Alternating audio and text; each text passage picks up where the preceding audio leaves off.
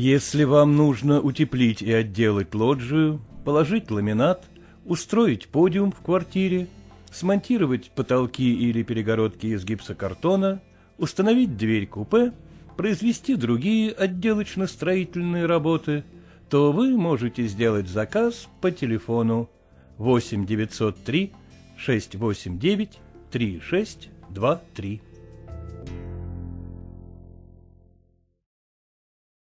Илья Ильф и Евгений Петров. Чертоза. Читает Геннадий Постригайло.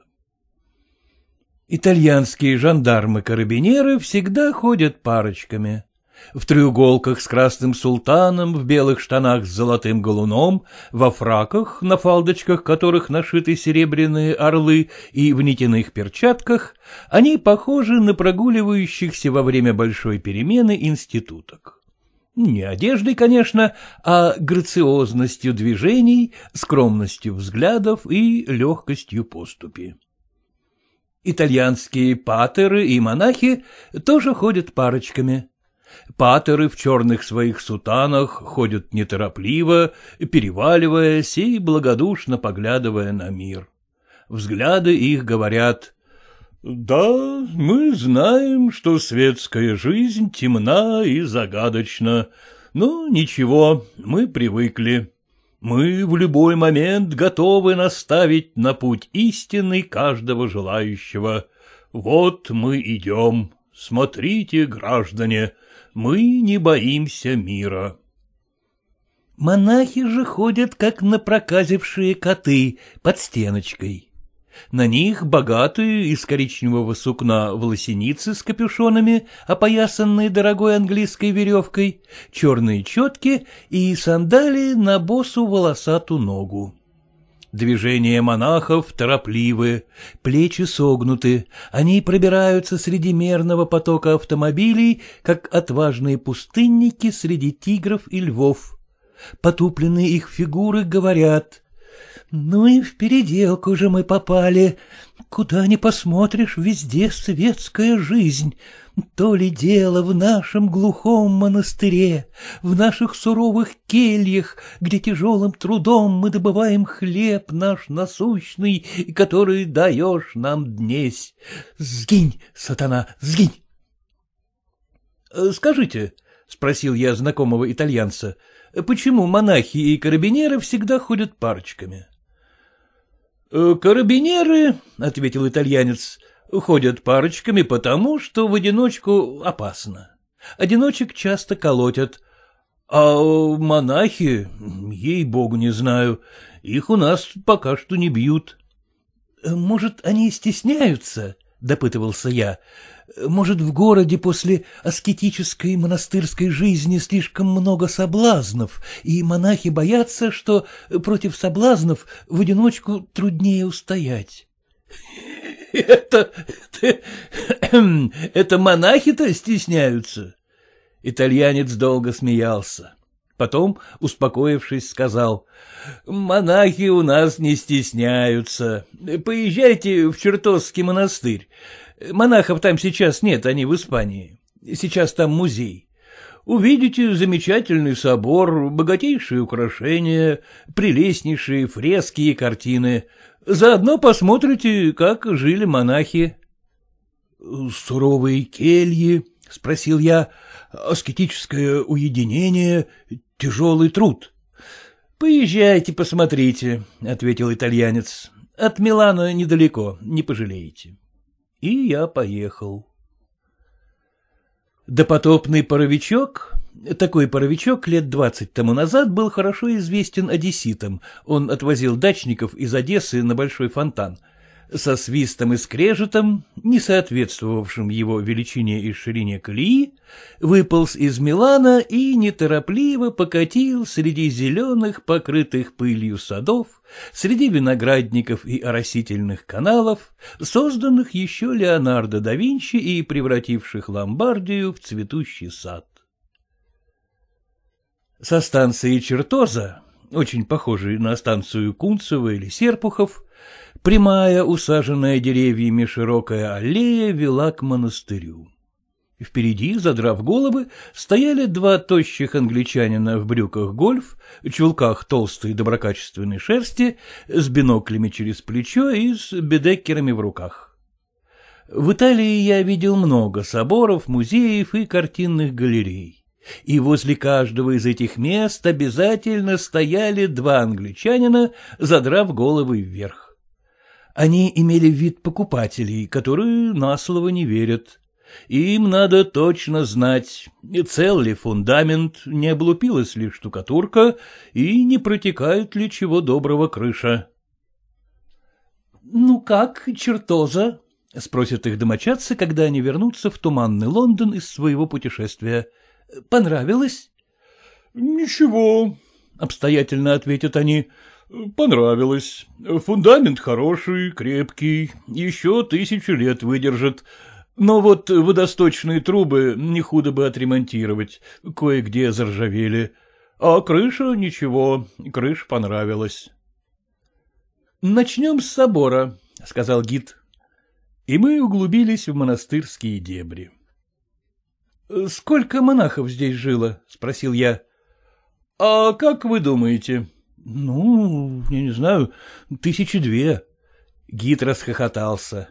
— Двадцать четыре человека, ни больше, ни меньше. — Позвольте, — воскликнул я, — но зачем же им такой огромный собор и столько ценной жилищной площади? — А слуги?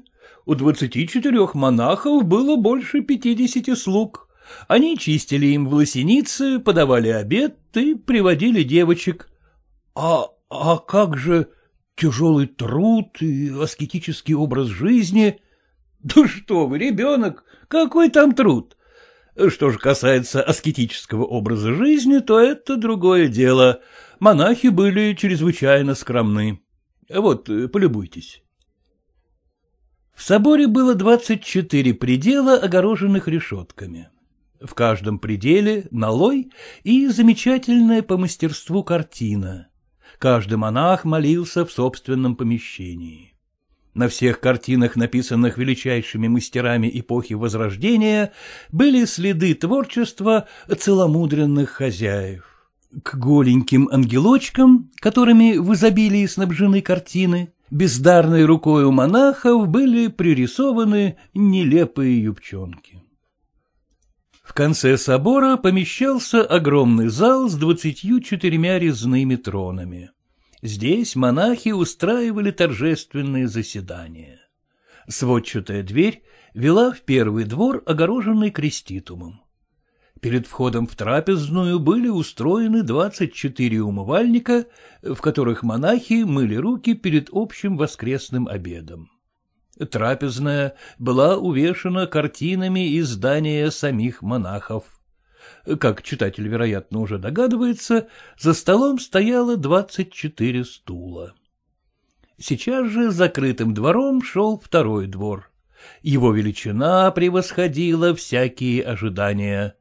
Двор был величиною примерно с Лубянскую площадь. По стенам его были расположены двадцать четыре двухэтажных дома с готическими башенками. Во двор выходили двадцать четыре толстые железные двери. — Кельи, — сказал проводник, любуясь произведенным эффектом. — Как? — пробормотал я. — Суровые кельи отшельников? — Да, они и есть. Войдемте. Пожалуйста, здесь столовая, здесь кабинет, Наверху спальня, там ванная и ватер-клозет, а вот и дворик. При каждой келье собственный дворик, колодец и садик. Здесь в уединении монахи и спасались. Хм, нетрудно же им было спасаться. А где они сейчас? В Испании. Померли? — спросил я с сочувствием. — Увы, сеньор, к сожалению, не померли. Скоро они вернутся назад. К их приезду монастырские помещения заново ремонтируются. Тогда музей будет закрыт и доступ туристам воспрещен. Мы осмотрели еще грандиозный пресс для давки винограда и ликерный заводик. Проводник выпил за наше здоровье рюмку ликера и задумчиво сказал.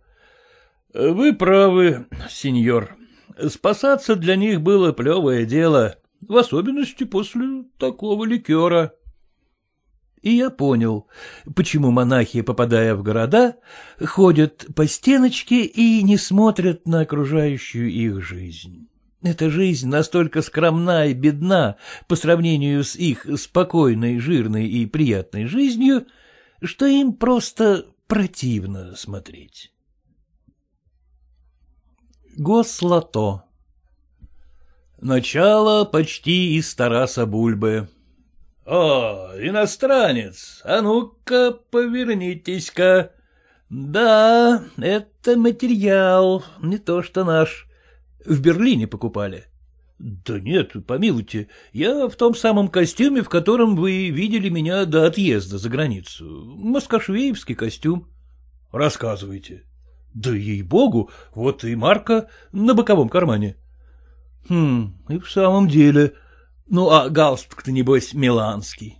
Галстук с Петровки. Рассказывайте. Даю честное слово. А ботинки? Скороходовские. Добрый московский знакомый озадачен. Потом смотрит на меня долгим страдальческим взглядом и спрашивает. — А зачем же вы ездили? — На предмет ознакомления с культурной жизнью поименованных стран, — вяло отвечаю я. — Муссолини видели? — Нет. — Рассказывайте. — Честное слово. — Папу видели? — Нет. — Рассказывайте. — Ей-богу, не видел. Ай-яй-яй, быть в Риме и не видеть папы. Я пожимаю плечами, дескать, ну, что поделаешь, раз папа такой нелюдимый из Ватикана не ногой. Верьте, не верьте, но о Муссолини и о папе меня расспрашивали решительно все знакомые. Кончилось тем, что я начал привирать. Сначала, краснея и путаясь, бормотал, что видел Муссолини мельком в автомобиле, но не совсем уверен в том, что это был именно он путанно рассказывал о каком-то торжественном богослужении в соборе Петра, на котором, кажется, был папа. Потом окончательно распоясался и заявил, что Муссолини видел три раза. Дважды на параде и один раз совсем близко, вот так, как сейчас вас. А у папы был на приеме и всех удивил решительным отказом поцеловать у заместителя апостола Петра руку. Ну, Теперь расскажите, как вы ездили, ну, только по порядку. Этого требовали решительно все. Устраивались поудобнее, закуривали и, приготовляясь слушать длинный интересный рассказ, сладко вздыхали. Ну, действуйте, но имейте в виду, по порядку. Понимаете, все, как садились в поезд, как ехали. Одним словом, ну, вы сами понимаете. Э, ну и вот, — начинал я спокойным эпическим тоном. Получил это я паспорт, поставили мне визы, и сел я в поезд. Поезд, надо вам сказать, отходил в четыре часа десять минут. С белорусско-балтийского вокзала, а сам я живу на Арбате. Поезд хороший, скорый, прямое сообщение Москва-Столбцы. На этом месте давно уже ерзавший ногами слушатель спрашивал, почем за границей брюкодержатели, или выражал надежду, что в Италии погода, вероятно, не такая подлая, как в Москве. И я от систематического плавного рассказа переходил к быстрым кратким ответам на вопросы. — Макароны ели? — Ел. — Вкусные? — Ничего себе, надоели только. — Смотрите на него, ему итальянские макароны надоели. Кьянти пили? Пил. Вкусно. Ничего себе, надоело только. Смотрите на него, ему кьянти надоело. В Колизее были? Был. Большой? Большой. Очень большой? Очень. Везувий видели? Видел. Дымился? Дымился. Тут добрый знакомый задумывался. Потом спрашивал. «Э, «Очень?» «Что очень?» «Дымился». «Ах, дымился? Да, очень». «На гондолах ездили?» «Ездил». «Хорошо». «Хорошо». Пауза увеличивалась, грозя перейти в долгое томительное молчание. Но слушатель напрягал последние силы и выдавливал, как выдавливают из тюбика остатки зубной пасты, последний вопрос. — Итальянки красивые? Э, — Нет. — Неужели все некрасивые? — Ну, правду сказать, мне не удалось повидать всех итальянок. Может быть, и есть красивые. На этом беседа об Италии обычно заканчивалась, и мы переходили на милые сердцу московские темы. Гастроли театра Кабуки, спартакиаду, дожди и семейные дела сослуживцев. Итак, все ясно. Добрые московские знакомые не умеют выспрашивать, а я не умею рассказать все по порядку, начиная с того момента, когда я сел в поезд, и кончая чрезвычайно интересным, полным захватывающих положений обратным переездом границы. Муссолини, король мелкой буржуазии, царь и бог лавочников, театральных импресарио, футболистов, хозяев велосипедных мастерских, карьеристов-гинекологов, боксеров и бесчисленного количества молодых людей без определенных занятий. Жизнь этих людей сера, как солдатское сукно. Утром кофе-латте, кофе с молоком, вернее, молоко с кофе, светленькая бурда, которую итальянцы, набросав предварительно хлебных кусочков, хлебают ложкой. Потом лавка. С двенадцати до двух Италии не существует. Закрыто все — банки, церкви, музеи, полиция, почта. Обыватель обедает. Ест пасташуту. В это понятие входят и макароны, и вермишель. Слово «паста» означает «тесто». Миланец ест пасташуту по-милански, неаполитанец по-неаполитански и генуэзец, как читатель, вероятно, уже догадался, по-генуэзски. В неаполитанской пасташуте преобладают помидоры, в миланской — мясные крошки, в генуэзской — соус из гадов, спрутов, каракатиц, морских ежей или лягушек. На второе итальянец ест мясо или рыбу. Потом фрукты и сыр. Все это запивается отличным вином. Вино в Италии самая дешевая вещь. Литр отличного барбера стоит 4 лиры, то есть около 40 копеек. После обеда лавка. В сумерки лавка и вечером тоже лавка. Но обыватель скуки не чувствует. Его убедили, и убедили самым серьезным образом, что он, итальянский обыватель, никто иной, как древний римлянин, и что французские и немецкие обыватели не стоят его подметки. В соответствии с этим итальянский лавочник старается вести себя так, как по его понятиям вели себя Марк Антоний, Вергилий или Петроний в кинофильме «Итальянской стрепни Квавадис».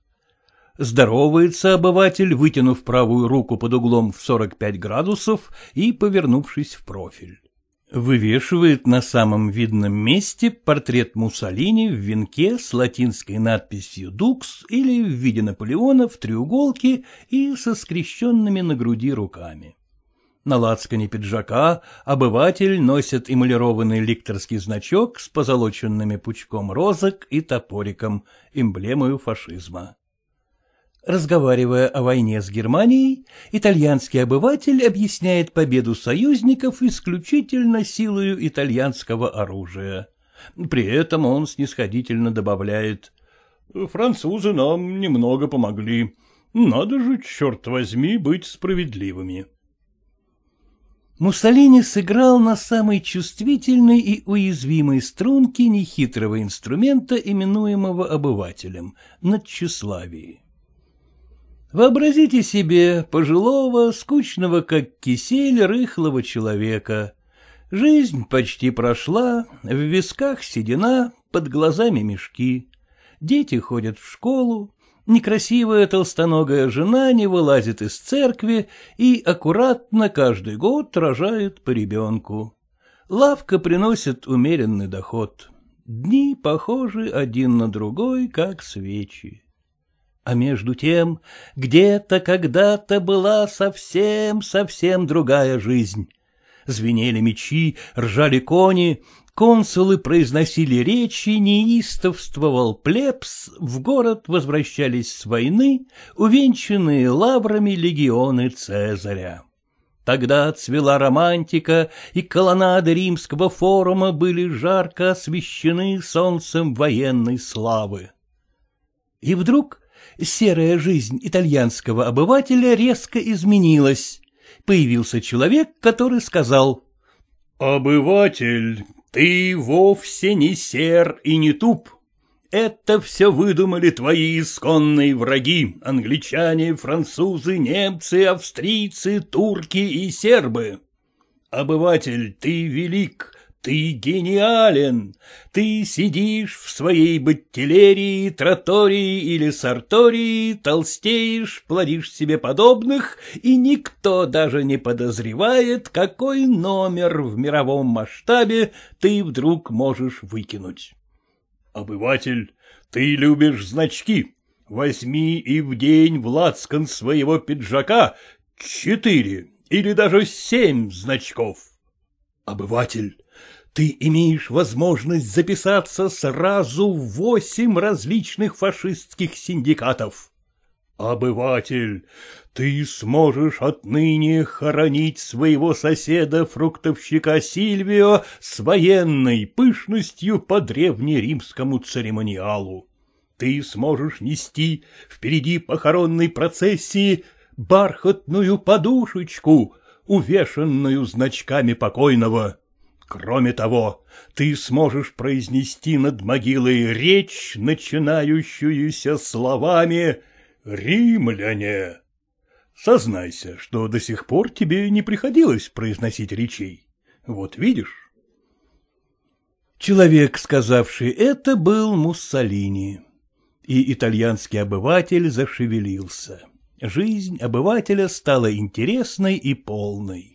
По улицам ходят оркестры, стены покрылись плакатами и трафаретными изображениями Муссолини. Стало много различных праздников, торжественных встреч, юбилеев, проводов, парадов, закладок и открытий. Почти каждая неделя приносит обывателю какую-нибудь новость. «Муссолини борется с папой. Уж он-то покажет папе, где раки зимуют». И вдруг полная неожиданность. Стены, колонны и афишные тумбы густо облепливаются портретами папы и лозунгами «Да здравствует папа!». Муссолини помирился с папой и лихорадочно стал его популяризировать. Прошла неделя, и снова новость. Принц Умберто с принцессой нарядились в средневековые костюмы и по сценарию Муссолини участвуют в самом настоящем средневековом турнире в Турине. Через неделю снова афиши. По инициативе Бенитта Муссолини в Веронском амфитеатре пройдут Риголетто и Турандот с участием Лаури Вольпи. Муссолини, ища популярности, не брезгует ничем. Он готов даже отбивать хлеб у прославленного тенора. Авантюра Нобеля, из-за которой газеты учетверили свои тиражи, предприятие чрезвычайно типичное для Муссолини. И обыватель ликует. Снова пышные проводы, снова речь Муссолини, начинающаяся словами «римляне», Снова тысячи рук, поднятых под углом в сорок пять градусов. Снова сенсация. Генерал Нобеля в молодости. Генерал Нобеля в кругу семьи. Генерал Нобеля прощается с женой. Генерал Нобеля в черной рубашке. Генерал Нобеля в гондоле Италии собачка генерала Нобеля Титина в молодости, собачка генерала Титина в кругу семьи городского головы города Милана. Собачка Титина прощается с другой собачкой. Титина в черной попоне, Титина в гондоле. Папа вручает генералу Нобеле крест. Муссолини целует Нобеля. Нобеля целует Титину. Титина целует другую собачку другая собачка целует городского голову города Милана. И Джавинеца. Дживенеца на Корса Виктора Эммануила, Дживенеца на Корса Венеция, на пьяцца дома у замка Сфорцеско. Милан оглушен пошлым шармоночным мотивом фашистского гимна. Мотив Дживенецы страшно напоминает студенческую песенку «От зари до зари лишь зажгут фонари, то студенты толпой собираются». Но вот Нобеля с крестом и собачкой улетел. И началась новая сенсация. В витринах магазинов появились карты с точным указанием полюса и звездочкой в том месте, где отважным генералам сброшен крест. Потом тревога. И, что совершенно невероятно для современной Италии, никакого ликования. Обыватель хватает газету и под бесконечными приказами вождя, напутствиями папы, интервью с Габриэлем де Анунцио и предположениями городского головы города Милана находит где-то внизу на задворках заметочку о продвижении Малыгина и Красина. Обратно пропорционально росту приказов вождя и напутствий папы уменьшается надежда на спасение.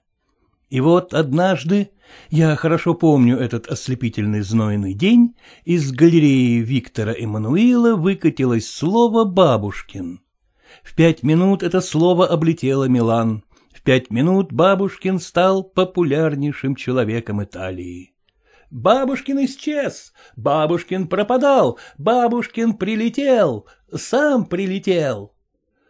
О, если бы эта популярность выпала бы на долю итальянского летчика! Он оглох бы от звуков Джовенецы, ордена не поместились бы на его груди. Он полинял бы от поцелуев вождя, короля, папы и городского головы города Милана. Сто красавиц подарили бы ему сто собачек. Сто американских миллионерш прислали бы ему сто официальных предложений руки, сердца и миллионов ему подарили бы сто золотых пучков розок и такое же количество топориков. Руки, поднятые под углом в сорок пять градусов, не опускались бы в течение ста дней. Но бабушкин оказался русским. Русские нам немного помогли. Надо же, черт возьми, быть справедливыми. Я имел честь познакомиться на днях с бабушкиным. Он был в синей военной блузе с одиноким красным орденом. На нем, не говоря уже о топориках и пучках розок, не было ни металлических блях, ни орлов, ни перьев, ни погребальных султанов. Собачки у него тоже не было, креста тоже. Это был человек, настоящий великолепный образец человека. Хорошо, что итальянские обыватели его не видели, они были бы изрядно разочарованы. О том, что было в Италии после полета Чухновского, я не знаю. Я уехал накануне этого замечательного дня. Когда я уезжал, надежды на спасение группы Вильери были потеряны. Вся Италия играет в лото, в государственное, так сказать, всенародное лото. Еженедельно по субботам в вечернем выпуске всех газет появляются пять цифровых комбинаций, Каждая комбинация соответствует одному из пяти городов – Риму, Милану, Турину, Флоренции и Неаполю. В каждой комбинации пять однозначных или двухзначных цифр. В течение целой недели тысячи специальных государственных контор принимают ваши лиры и закрепляют за вами указанные вами цифровые комбинации. Вы можете играть на два числа по всем городам, Тут есть кое-какие шансы на выигрыш, но выигрыш очень мал. На лиру — лир шестьдесят. Можете играть на два числа по одному городу. Если вы поставили, положим, лиру на восемь и пятьдесят шесть по Флоренции, и если эти цифры явились первыми в цифровой комбинации именно во Флоренции, вы выигрываете лир двести. Но шансов на это очень-очень мало — Затем вы можете играть на три, четыре или пять чисел по всем городам или по одному в отдельности. Угадавший, например, пять чисел по одному городу, выигрывает на лиру миллиона полтора. Но таких случаев, кстати, до сих пор не было. Еженедельно по городу расклеиваются афиши с портретами нескольких счастливцев, выигравших по 50-60 тысяч лир. Ну, в общем, обыкновенная девятка, грабительница, польский банчок или штос по сравнению с итальянским гослото — верное средство разбогатеть. Итальянцы играют. Лира не деньги, но зато сколько надежд. Каждую субботу обыватель ждет, волнуется и вырывает из рук газетчика вечерний выпуск. Есть игроки по вдохновению. Они быстро входят в контору и, не задумываясь, называют первые попавшие на язык цифры. Есть специалисты, играющие по сложным, выработанным годами упорного труда таблицам. Проигрывают и те, и другие с легкостью необыкновенной. Ну и черт с ним, Говорят они, лира не деньги, но зато... И ровно через неделю одни по вдохновению, другие по таблицам идут в контору, платят свои лиры и называют цифры. Правительство, как говорится, не щадя затрат и всецело идя навстречу, решило успокоить мучения игроков и ввело в каждой конторе толстые справочные сонники. Вам больше не нужно гадать, не нужно составлять трудных таблиц. Вам необходимо только почаще видеть сны и хорошенько их запоминать. Правительство любит заботиться о благополучии граждан. Вот солидный плешивый обыватель с женой. Они добросовестно перелистывают сонник. Он видел во сне граммофон, который играл Джавенецу. Вместо иголки в мембрану была почему-то вставлена сардинка. Жене приснились какие-то ангелочки, которые летали по кухне. Один из них попал в духовой шкаф и там превратился в лангусту. Страницы толстой книги приманчиво шелестят. — Не унывай, Лолиточка, государство нам поможет. И точно, Слово «граммофон» обозначено цифрой 11, мембрана — цифрой 83, сардинка — 67. Жена тоже удовлетворена. Ангелочки идут под цифрой 38, кухня — 13 и лангуста — 24. Яснее ясного. Остается только определить город, и денежки можно считать в кармане.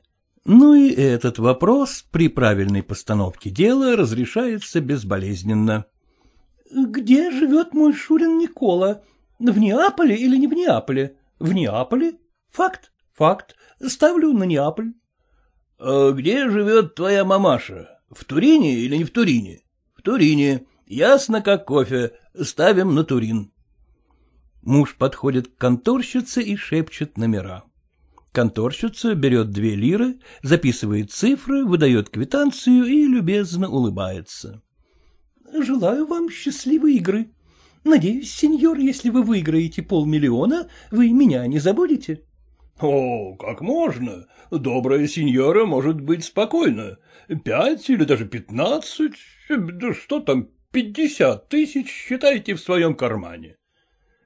И пара, тяжело переступая порог и потом направляясь к трамвайной остановке, нисколько не сомневается в выигрыше а в конторе уже новые люди роются в соннике, ищут слово «лошадь» и выслушивают от конторщицы невинные просьбы о подарке в шестьдесят тысяч лир. Среди конторщиц лото упорно держится явно вздорный слух о каком-то чудаке, выигравшем триста тысяч и подарившем барышне-продавщице тысячу лир. С тех пор конторщицы обращаются с просьбой не забывать ко всем игрокам на всякий случай. Недавно в Неаполе появился пророк. Сначала о нем носились темные неясные слухи. Передавали, что пророк предрекает совершенно точные цифры. Говорили, что цифры эти он сообщает кому угодно. Сообщения о пророке появились в газетах писали, что пророк никогда не ошибается, называли людей, которые неизменно выигрывают, ориентируясь на пророковые данные. И вот какому-то шустрому репортеру удалось выпытать у пророка очередные цифры, которые совместно с портретом святого появились в газетах.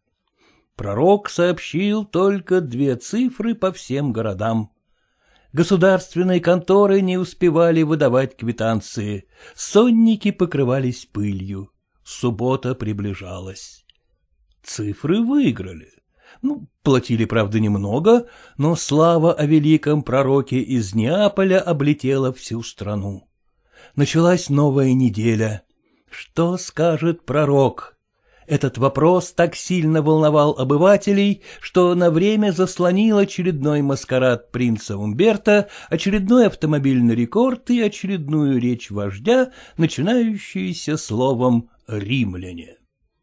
И пророк оправдал возложенные на него надежды. На этот раз он назвал пять цифр по одному городу. Одна лира, поставленная на эти цифры, должна была принести миллиона полтора. Но в эту неделю государственные конторы повысили минимальную ставку до пяти лир. Улицы были наводнены публикой. У контор ввелись пышные хвосты. Полиция сбилась с ног. Лиры вливались широкими потоками в подвалы казначейства. В среду ажиотаж дошел до апогея. Ставки были увеличены. Весь четверг и всю пятницу бойко торговали барышники. Казалось, знойный субботний день никогда не кончится. Любители подсчитали, что если выиграют цифры пророка, Италии придется сделать внешний заем, равный десяти золотым запасам Уолл-стрита. Вечерние выпуски газет вышли в удесятеренном тираже. Цифры пророка не выиграли. Неаполитанцы — народ экспансивный, пророка решили бить. Но привести в исполнение этот энергичный план не удалось. Дом пророка был своевременно оцеплен карабинерами, и пророк под защитой дюжих парней во фраках и треуголках тихо уехал в автомобиле. О пророке никто больше ничего не слыхал. Пророк смылся. Долго не мог успокоиться итальянский обыватель. Но потом жизнь вошла в привычную колею. Появились сенсационнейшие сведения о новой монете, приобретенной королем нумизматов Виктором Эммануилом. И вождь сказал новую речь, начинающуюся словами «римляне».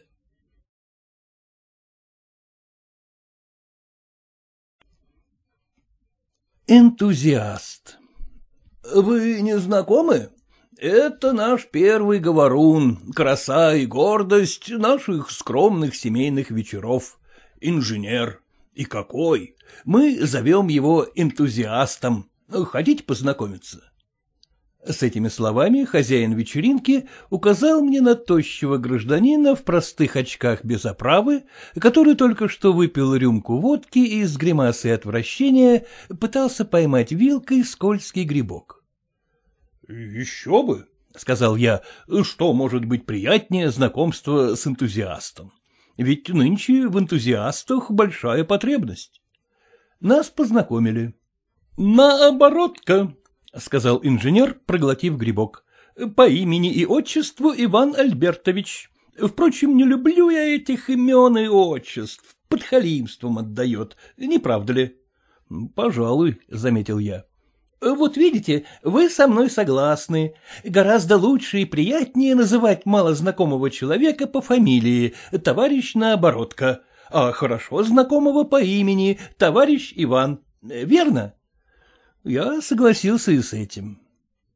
Через пять минут мы с инженером наоборотка уже вели задушевную дружескую беседу, как будто были знакомы по крайней мере лет десять. — Химия, — говорил наоборотка, — великая вещь, химия. Сейчас, когда этому роду промышленности уделяется такое внимание, можно смело сказать, что химия — это наше будущее. — А вы разве химик? — спросил я. Мне казалось... Нет, по образованию я горняк, но служу в химсиндикате. И, признаться, нисколько не жалею об этом. Известно ли вам, что без химии, черт раз побери, не может обойтись ни одно производство? Химия — это... Нет, вы не знаете, что такое химия. Лицо наоборотка осветилось восторженной улыбкой. — Я, видите ли, немножко энтузиаст химического дела, — скромно сказал он. — Сейчас мы заняты проектированием замечательного химического завода, и я весь горю этой работой. Но вам, вероятно, не интересно слушать. — Ну, что вы, напротив. Мы проговорили с наоборотка весь вечер. Называйте меня просто товарищем Иваном. Не люблю я этих мелкобуржуазных отчеств, — сказал наоборотка, прощаясь. — Да, это человек, — думал я, возвращаясь домой. С таким человеком наша химия будет процветать. — Не узнаете? Забурели? Я оглянулся. Передо мной стоял инженер-наоборотка. — Ба, товарищ Иван, рад вас видеть. Знаете, наша первая встреча произвела на меня большое впечатление. Я всю ночь не спал. Так вы говорите, ни одно производство не обойдется? — Ни одно, — воскликнул наоборотка. — Во-первых, подвоз сырья. Во-вторых, вывоз продукции. Попробуйте, обойдитесь. Э, — Простите, я что-то не совсем вас понимаю. При чем тут подвоз и вывоз? Наоборотка расхохотался. — Да что вы, ребенок, что ли? Ведь даже младенцу известно, что ни одно производство не может обойтись без железнодорожного транспорта. — Какого транспорта? Ведь вы говорили о хим-синдикате. — Не произносите при мне этого слова, оно мне противно. Склочники сидят там, вот кто. Я перешел в НКПС. Но ведь неделю тому назад вы горели огнем энтузиазма, вы проектировали... Я и сейчас проектирую. Э, постройку у бога Свидригайловской ветки. Ах, транспорт, транспорт, транспорт это... Нет, вы не знаете, что такое транспорт. Я, видите ли, немножко энтузиаст железнодорожного дела. Но вам, вероятно, не интересно слушать. Э, — Помилуйте, — пробормотал я, — что вы. Я попрощался. Транспорт был в верных руках, это было ясно. Я встретил наоборотка в вагоне дачного поезда. Зимою, как известно, в дачных поездах народу мало, ехать скучно, и всякая встреча радует. — Вы в Москву? — спросил я. — В нее, в матушку, — ответил он. — Пыхтите? Я загудел, подражая паровозу, и задвигал локтями. Ту-ту! Он радостно расхохотался. — Ну, а как ваша ветка? — спросил я. — В огне энтузиа... — Вот вы шутите, — строго сказал он. — А я вам скажу совершенно серьезно. Вы срываете ветку, бросаете ее в огонь, она горит. Хорошо ли это? — Какой же негодяй позволит себе сжигать целую ветку? — Какой? Какой? Тысячи негодяев, миллионы. Наоборотко вскочил со скамейки и схватил меня за воротник пальто. Рубят ветки, рубят деревья, жгут их, как варвары, как какие-то людоеды.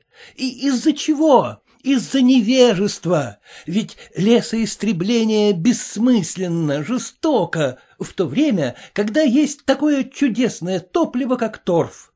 Торф, торф, знаете ли вы, что такое торф? Я проектирую сейчас грандиозные торфоразработки, которые... — А транспорт? — грустно спросил я. — Ведь вы же служили в НКПС. — Ай, скопище бюрократов! — воскликнул он. — Бездушные люди, не говорите мне о них. К тому же дикие склочники. Но вот торфопром — это нечто потрясающее. Размах гигантский. Скоро ни один вид производства не сможет обойтись без торфа, ведь торф — это... Недавно я отправился в Древ-Трест для получения кредита на новую мебель. Я долго подписывал какие-то бумаги, расписывался в толстых книгах и бродил от стола к столу. Осталось поставить окончательную резолюцию. — К кому обратиться? — спросил я. — Идите в комнату номер шестнадцать, к товарищу наоборотка. Я пошел. В комнате номер шестнадцать никого не было. — А где же товарищ наоборотка? — спросил я у первого служащего. — Как, разве его там нету? Служащий пошел вместе со мной. Комната была пуста. — Хм, странно, — сказал служащий. — Он только сегодня утром поступил к нам в качестве заведующего отделом. Э, — Марья Антоновна, вы не видели товарища наоборотка? Курьерша остановилась. — Товарища наоборотка? — спросила она. — Это новенького-то? — Ну да, того, который кричал сегодня утром, что без мебели не может обойтись ни одно учреждение. Тощий такой, в очках. — А, вы разве не знаете? Ведь он только что перешел в трест цветных металлов. С Федором Петровичем не поладил. За ним и машину трестовскую прислали. В этот же день вечером я встретил наоборотка в театре. «Кажется, на этот раз я не ошибусь, если скажу, что вы служите в тресте цветных металлов», — воскликнул я. «А вот и не угадали», — ответил он. — Я ушел от них, гады. А служу я... В это время раздался третий звонок. Публика ринулась по местам. Боясь пропустить действие, побежал в зрительный зал и я. Свет погас, дали рампу. Перед занавесом появился наоборотка. — Товарищи! — сказал он звучным голосом. Театр — великая вещь. Сейчас, когда этому виду искусства уделяется такое внимание, я, как новый директор театра, не могу не сказать, что ни один вид промышленности не может обойтись без этого вида искусства. И я занят сейчас проектированием нового вида театрального действа и надеюсь, что все вы, представители советской общественности, рука об руку, Гром аплодисментов покрыл речь нового директора.